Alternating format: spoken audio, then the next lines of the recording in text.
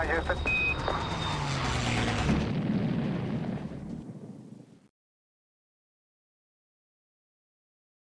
袁老师，上一期圆周率中我们报道了全光量子中继，潘建伟老师团队又出新成果，哎，我感到非常开心，但是又不明觉厉啊！您可是量子信息方面科普的行家，还要请您来帮帮我们答疑解惑呀。我相信绝大多数读者看到这条新闻的反应啊，都是我连量子中继是什么都不知道，你居然在跟我说什么全光量子中继，看不懂是正常的。如果这么容易就让普通人看懂了，那不是寒窗苦读十几年，岂不是白读啦？世界上没有这么便宜的事儿。那现在好消息来了，我可以向大家来解释这项工作，而且我相信，只要认真听，大多数听众都可以理解个八九不离十。即使不能掌握所有的细节，至少也可以理解这项成果的背景。为什么呢？因为第一，这项工作属于量子信息这个领域。在这个领域啊，我写过很多科普文章，所以呢，我知道在宏观大图景上这项工作处于什么位置。我关于量子信息的最重要的科普文章叫做《你完全可以理解量子信息》，有四万字。你看了以后啊，就真的可以对量子信息获得一个全面的了解了。因此啊，按照同样的风格，我们这篇文章就叫做《你完全可以理解全光量子中继》。第二。这篇论文发表在《自然光子学》上，标题叫做“没有量子存储的量子中继 ”（Experimental Quantum Repeater Without Quantum Memory）。我仔细阅读了这篇文章，了解了许多技术细节。第三，这项工作是我的科大同事潘建伟院士的团队做的，主要的负责人之一陈宇敖教授就是我的老朋友，我跟他通了电话。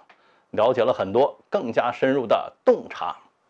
事实上啊，这正是我做科普的一个基本的方法论：了解宏观背景，调研原始文献，然后如果有条件的话，尤其重要的就是跟一线研究者进行深入沟通。这个方法论啊，在科普之外也具有更加普遍的意义，欢迎大家领悟和应用。好，我们言归正传，看到。全光量子中继这个名字啊，大多数人恐怕都搞不清这个词的重点何在啊？是全光，还是量子，还是中继？而看到原始论文的标题“没有量子存储的量子中继”，大家就可以明白了。这项工作真正的要点是没有量子存储。就像那条著名的广告，我们的目标是没有蛀牙。因此啊，大家也可以明白，全光量子中继的重点在于全光，全光就是实现没有量子存储的手段。好，只要你理解到这一层，你就已经超越百分之九十以上的人了啊。好吧，没想到这么快就超过了这么多人。可是我感觉还有很多地方没了解啊。量子中继是啥？为什么我们又要想在量子中继中去去掉量子存储呢？啊，对此的回答就出现了一个。真正出人意料的地方，传统的中继大家都很熟悉，就是通信网络当中用来扩展通信距离的中继站。那么顾名思义，量子中继就是量子通信网络当中用来扩展通信距离的中继站喽。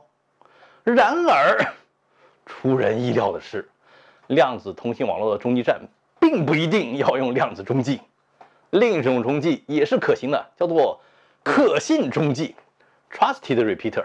也就是说啊，我们有两种选择：量子中继和可信中继。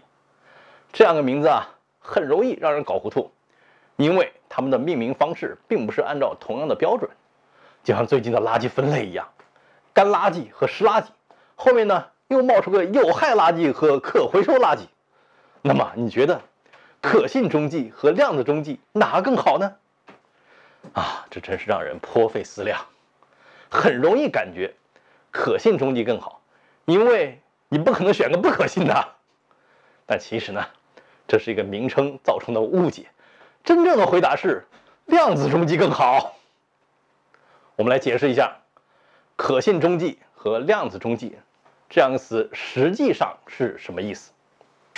可信中继的意思是，这个中继站在按照传统的方式储存数据，比如说用磁盘，发送方和接收方知道的所有的数据，中继站也都知道。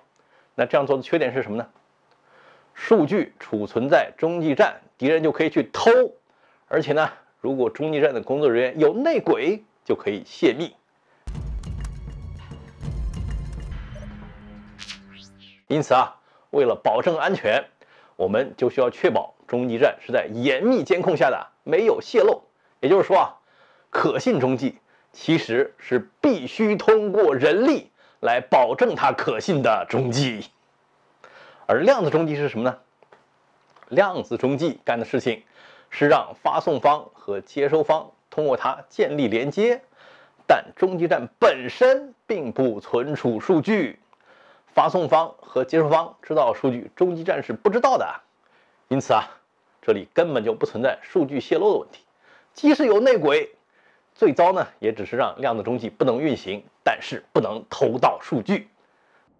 对不起，我是警察。所以啊，量子中继是比可信中继更可信的中继，因为它天然就可信，不需要外力来保证。好。如果你理解到这一层，我相信你已经超过了百分之九十九以上的人。那关于量子中继和可信中继的基本状况是，量子中继离使用还非常远，而可信中继已经在使用了。例如，二零一七年九月二十九日，中国开通了世界上第一条量子保密通信干线——京沪干线。具体而言啊。京沪干线是在北京、济南、合肥、上海已有的量子网络的基础上，通过包括两端在内的总共三十二个节点，把它们连接起来。这样啊，就可以在从北京到上海的两千公里的范围内实现量子保密通信。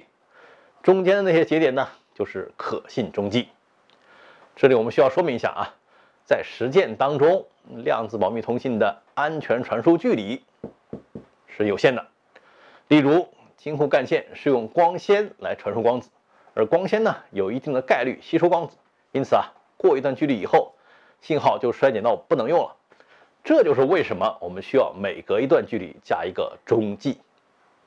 在很长的时间内，量子保密通信的安全传输距离啊只有十公里的量级，因此啊，学术界曾经认为，量子密码术的发展已经到头了，没有太大的前途。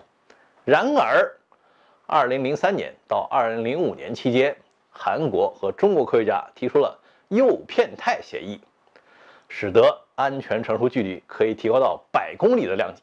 从此以后呢，量子密码术就蓬勃发展，而中国获得了领先地位。大部分的新纪录啊，都是科大的研究团队创造的。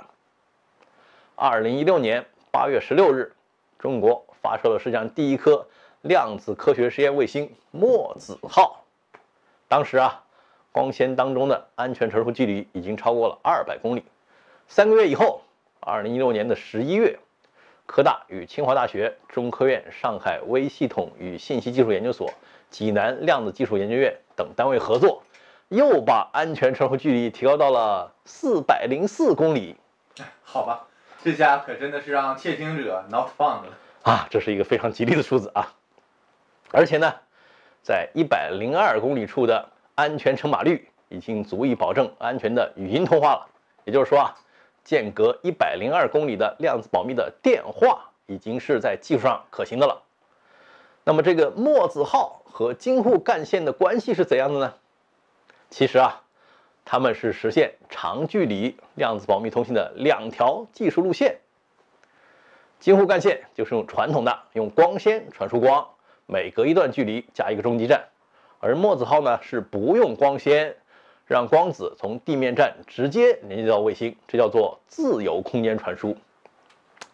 这里的有趣之处在于啊，自由空间传输的光子啊，在真空当中是没有衰减的，只在大气层内有衰减。因此啊，一旦出了大约十公里后的大气层，即使传得再远，也不会再衰减了。而光纤传输呢，却是每一寸都在衰减的。因此啊。对于几百、几千公里的超远距离传输啊，自由空间传输效率可以远远的超过光纤传输，这就是量子通信卫星的优势。事实上呢，卫星也可以作为一种可信中继，来实现地面站之间的量子保密通信。例如，在京沪干线开通的记者会上，中国科学院院长白春礼与奥地利科学院院长安东·泽林格，他就是潘建伟的博士导师啊，他们俩人就通过墨子号进行了世界首次洲际量子保密通信的视频通话。那现在的问题是，既然量子中继在原理上更好，那为什么大家不用它呢？原因是，造出量子中继的难度远远高于可信中继。一个基本的道理就是啊，用到量子力学的操作总是要比不用量子力学的操作困难嘛。具体而言，在现有的量子中继设计当中，包含三个元素：纠缠交换、纠缠纯化以及量子存储。嗯，前面不是说量子中继不存储数据吗？为什么这里又要用到量子存储了？啊，回答是，量子中继当中存储的是一些中间数据，对窃密者来说没有用处。到目前为止啊，量子存储虽然也有很多研究组取得了很多进展，但是呢，发展程度还远远满足不了量子中继的需要，所以它成了一个瓶颈。因此啊，如果能够造出没有量子存储的量子中继，就渴望绕过这个瓶颈，促进量子中继的实用化。好，如果你理解到这一层，我相信已经超过了百分之九十九点九以上的人啦。如果你还想理解更多，那么你的下一个问题自然就是：潘建伟、陈宇敖等人是如何实现没有量子存储的量子中继的？好吧，真正能够关心到这个层面的观众啊，都是专家了。那你既然是个专家，那么我多讲些术语也是正常的喽。基本的回答是：发送方 Alice 和接收方 Bob 各自产生 M 组纠缠对儿，然后呢，通过量子中继 Charlie 连接起来。我们可以把这 M 组纠缠对儿画成 M 行横线。在以前的方案中爱丽丝的每一个纠缠对儿只和 Bob 的属于同一行的纠缠对儿建立连接，也就是说啊。总共只建立 m 个连接，而在新的方案中，爱丽丝的每一个纠缠对儿都和鲍勃的属于所有行的纠缠对儿建立连接。也就是说啊，总共建立了 m 的平方个连接。用术语说啊，这叫做建立了一个图态 （graph state）。这样做的好处呢，就是取消了对于量子存储的需求。这样做的代价呢，就是要付出更多的努力去建立纠缠。因此啊。这是不是让量子中继变得更加容易造出来呢？都还不能确定。无论采取什么技术路线，实用化的量子中继恐怕还需要十年或者更长的时间才会出现。但是这项工作的意义在于啊，确实提出了另一种可行的思路。最终的结果可能是新方案，也可能是老方案，还有可能是新老方案的某种连用。无论如何啊。多一个值得探索的方向，总是非常有价值的。因此啊，这篇文章能够发表在《自然光子学》这样的顶级期刊上啊，说明它的重要性得到了公认。不过啊，通过以上的解读，已经可以明白了，这是一项远景性质的工作，对于当前的实用呢，并没有影响。事实上啊，当前我们的量子通信网络已经有中继可以用了，就是可信中继嘛。虽然语言上存在更好的，但是也别拿豆包不当干粮啊！好，如果你理解到这一层，我相信你已经超越了百分之九十九点九九以上的人了。最后，有一个经常见到的问题值得回答一下：既然敌人攻击京沪干线的中继站就可以窃密，那么京沪干线还有什么意义呢？事实上啊，有不少人就以此为由宣称京沪干线完全没用。甚至是一场骗局，吆喝潘建伟等人是骗子。回答是：京沪干线怎么样啊？要看你跟谁比。如果跟那个理想的用量子中继的量子通信线路比，当然是不如了。但是问题不就是那理想的还没造出来吗？然后，如果跟现有的其他的密码密码的技术比较啊，你就能理解京沪干线与可信中继的优势了。这里的关键在于，保密通信要解决的是信息传输的问题，而可信中继要解决的是信息存储的问题。显然啊，存储是传输的前提。你要安全的传一个信息，就必须首先有能力把它安全的存在本地。如果你存都存不住，放在家里都被人偷了，那还谈什么传输的问题呢？因此啊，对可信中继的要求完全是一个合理的要求。在一条线上防守一个孤立的站点，这应该是你完全能做到的。如果你连这个都做不到啊，那你无论用什么保密通信的方法都是白扯嘛。而如果你能做到这个合理的要求，那么可信中继就能够让你在很长的距离上实现量子保密通信。你如果想了解量子保密通信的原理，那么欢迎去看我的文章，你完全可以理解量子信息。在这里啊，我们只是说明一点，量子密码术实现的安全性叫做无条件安全性 （unconditional security），也经常被称为绝对安全性或者完美安全性。这话实际的意思是啊，敌人即使具有无限的计算能力，也无法破解你的密文。有人可能会觉得不可思议，怎么可能出现这样的密文啊？敌人用无限的计算能力都不能破解啊！事实上，这样的密文是很容易构建的。例如这样一个密文，它就是二进制的一位数字零，而它可能对应的铭文是二进制的零或者一。敌人在不知道密钥的情况下，只能推出这个密文零，以一半的概率对应零，一半的概率对应一，然后敌人还能得到什么呢？什么都得不到了，因为再往下没有任何可推理的。你看，这个密文就是具有无条件安全性的。哎，你可能会问了，既然这么简单就能实现无条件安全性，为什么密码学家还要翻出那么多复杂的多的算法呢？回答是，无条件安全性的关键在于，蜜月要跟铭文一样长，甚至更长。如果你的铭文有《红楼梦》这么长，那么蜜月也需要这么长。如果蜜月比铭文短，那么只要敌人的计算能力够强，就一定可以破解了。也就是说啊，这时候就不可能具有无条件安全性了。量子密码术的技术诀窍呢，其实就是利用量子力学的操作，让双方分享任意长度的蜜月，不需要第三者的信使。因此，量子密码术可以实现无条件安全性。